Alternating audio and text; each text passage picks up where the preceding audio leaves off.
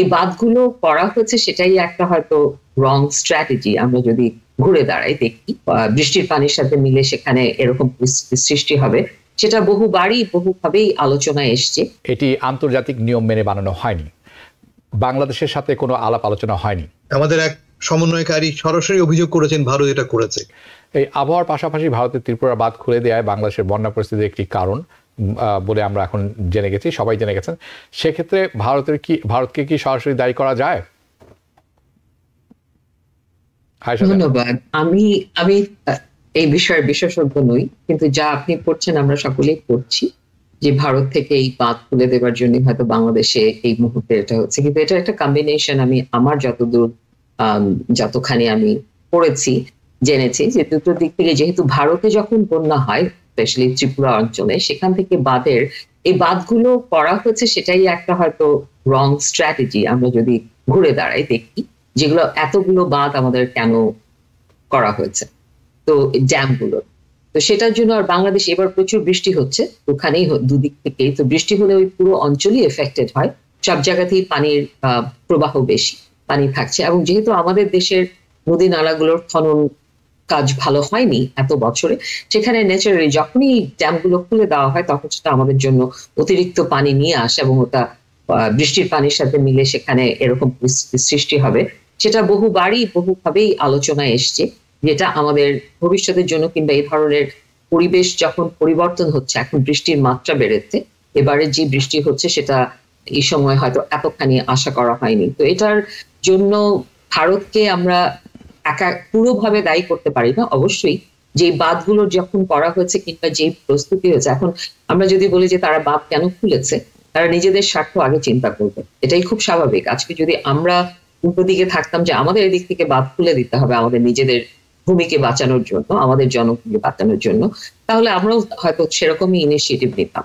তো এই ব্যাপারটিতে আমরা এখানে অবশ্যই এটা কাম্য নয়। কিন্তু সেখানে আমাদের করণীয় ভূমিকা এই মুহূর্তে ভীষণ কম। আমাদেরকে দেখতে হবে, আমি মনে করি যে ভবিষ্যতের জন্য যে আমাদের এই ড্যাম গুলোকে কি করে আমরা এটাকে রিইনভেন্ট করতে পারি, এই প্রসেসটাকে কি করে প্রিভেন্ট করা যায় ফিউচারের জন্য। এবং আমাদের নদী নালা কি করে আমরা আরও বেশি সেরকম যেটা আমাদের যত্ন নেওয়া হয়, সেদিক থেকে করে আমরা নিজেদের সিচুয়েশনটাকে আমাদের কন্ট্রোলে আনতে পারি। আজকে আমরা তাদের উপর নির্ভরশীল বলে কন্ট্রোলের আমাদের হাতে এটা নিয়ন্ত্রণ নেই বলেই আমরা এই সিচুয়েশন গুলোতে পড়ছি বার। তো সেখানে এটা দুদিক থেকে এই সমস্যাটা একদিক থেকে নয়। অবশ্যই তারা তাদের নিজস্ব স্বার্থ দেখবে। তারা নিজেদের সিচুয়েশন কন্ট্রোল করবার চেষ্টা করবে আমাদের আগে। তো আমরা আমাদের সিচুয়েশনটাকে কন্ট্রোলে রাখবার জন্য আমাদেরকে সেভাবে পরিকল্পনা নিয়ে এগোতে হবে। আমি আপনার সাথে একমত আবার একটু দ্বিমত পোষণ করছি। এই ড্যামগুলো যে বানানো হয়েছে এটি আন্তর্জাতিক নিয়ম মেনে বানানো হয়নি। বাংলাদেশের সাথে কোনো আলাপ আলোচনা হয়নি। ভারত একটি গায়ের জোরেই বানিয়েছে। বিকজ তারা অনেক বড় দেশ তারা পারে তারা গায়ের জোরে এটা করবে এবং করেছেও তাই। না কিন্তু সেখানে এখন এখন অবশ্যই আমি বলব যে তাদের গায়ের জোর যদি কাটাতে পারে সেখানে আমাদেরকেও আমাদের স্ট্র্যাটেজিক্যালি আমাদের স্ট্যান্ডে স্ট্রং থাকতে হবে। কেন আমরা সেটা মেনে নিয়েছি? এবং এটা একটা দুটো নয়। আমি যদি ভুল না জানি চৈত্রিশটি এরকম ড্যাম আছে যেটা কন্ট্রোলে তো আপনি একটা দুটো এতবার আপনি একজনকে গায়ের জোর খাটাতে দিতে পারেন না। যদি সেটা আমাদের দেশের জন্য অনগোয়িং প্রবলেম হয়। সেখানে আমাদেরকে তো এটা একটা আমাদের পরিকল্পনা এবং পর্যালোচনায় এটাকে আনতে হবে ভেরি গুড পয়েন্ট তার মানে আমাদের মেরুদণ্ড নেই যেটি আপনি বলছেন। সত্যি সত্যি কথা যদি বলতে হয় এরকম ভাবে মানে আমাদের পররাষ্ট্র নীতির এই যে সরকারগুলি এসেছেন একের পর এক কারোরই মেরুদণ্ড ছিল না। এটি সহজ কথা বলা কিন্তু আপনার পার্শ্ববর্তী দেশ যখন একটি পরাশক্তি, একটি আঞ্চলিক শক্তি নয়, পরাশক্তি, অন্যতম একটি বৃহৎ দেশ এবং যারা নিজের কথাতেই, নিজের কাজে এবং নিজের লাভের জন্য যা করে থাকেন, সেটি ঠেকানো খুব মুশকিল এবং এটি আমরা বারংবার দেখে থাকি। আমি আসছি সেই প্রসঙ্গে, কিন্তু এই প্রসঙ্গে, পরবর্তী প্রসঙ্গটা আরও খুবই গুরুত্বপূর্ণ যেটা আমি যাব এইটার উপরে বিল করে হাসান ফেদুসের কাছে। তার আগে ছোট করে এই রিপোর্টটি আমরা একটু দেখে নিব। হাসান ফেদোস আমি আপনার কাছে যাব। আমরা কিছুক্ষণ আগে আয়সা দেওয়ার কথা শুনছিলাম এবং বাংলাদেশের বন্যা পরিস্থিতি নিয়ে আলাপ করছিলাম। এই কিছু কয়েকদিন আগেই যেটি ঘটে গেল, হাসিনা সরকারের পতন হলো। এতে অনেকেই অনেকেই বলছেন, অনেকে মনে করেন এবং সারা দেশই খুশি, বেজায় খুশি। এবং সম্পূর্ণ দেশ একত্রিত হয়েছে এবং আমি খুব কম মানুষই পেয়েছি যারা হ্যাপি না। বা খুশি নন এবং উদযাপনটা হয়েছে একটি, আরেকটি স্বাধীনতা দিবসের মতো ব্যাপার মতো হয়ে দাঁড়িয়েছে। এটি একটি লক্ষণীয় ব্যাপার, এবং সারা দেশ এক হয়ে গেছে। একই সময়ে কয়েকদিন পর যখন বন্যা হলো, এই বন্যায় আবারও এই আরেকটি দুর্গতির অবস্থা তৈরি হয়েছে নতুন করে, যেখানেও আমরা দেখছি অনেকে আবার একসাথে কাজ করছেন। এরই মধ্যে একটি জিনিস লক্ষণীয় যে অনেকেই বক্তব্য দিয়েছেন সরাসরি ভারতকে দায়ী করে যে এটি ভারত ইচ্ছাকৃতভাবে খুলে দিয়েছে, যার ফলে আজকে বাংলাদেশের উজানে এই প্রবলেম এই সমস্যার সৃষ্টি হয়েছে। এটা ইচ্ছাকৃত। এটি যেহেতু হাসিনা গভর্নমেন্টের পতন হয়েছে, এটি একটি পানিশমেন্টের মতো বাংলাদেশের জন্য। আপনি কি তাই মনে করেন কিনা? নাম্বার ওয়ান আরেকটি ব্যাপার হচ্ছে, এই একই সময় আমরা খেয়াল করছি, ভারতে বাংলাদেশ বিরোধী মনোভাব তৈরি হচ্ছে বা তৈরি হয়েছে অনেকখানি, সবাই নয়, অনেক অংশে।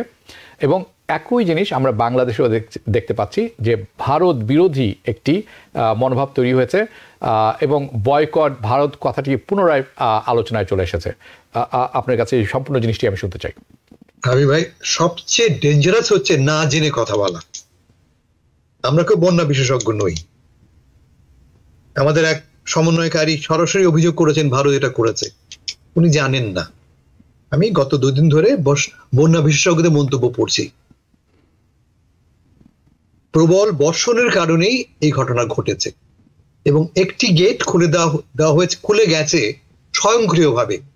যদি পত্রিকা পড়েন এবং ইনফ্যাক্ট ঢাকায় Indian high commissioner foreign adviser দেখা করে একই কথা বলেছে। পানির তাপ, পানির তীব্রতা এত প্রবল যে তার তোড়ে একটি গেট খুলে গেছে স্বয়ংক্রিয়ভাবে মানে অটোমেটিক্যালি সমস্যা কোথাও হয়েছে? সমস্যা হচ্ছে যে, এই পানির প্রবাহের সমস্যা নিয়ে আমাদের দুই দেশের মধ্যে কোনো আলাপ আলোচনা নেই, কথাবার্তা নেই। আমরা ভাটির দেশ, পানি উপর থেকে নিচে নামবেই।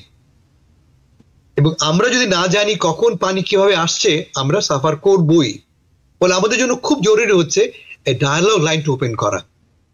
কিন্তু ডায়ালগ আপনি কার সাথে করবেন? আপনি যদি শুরুই করেন হস্টেল একটা পজিশন থেকে, আপনি শুরুই করেন যে তুমি শত্রু। তুমি এই তুমি ইচ্ছা করে দরজা খুলে দিয়েছ।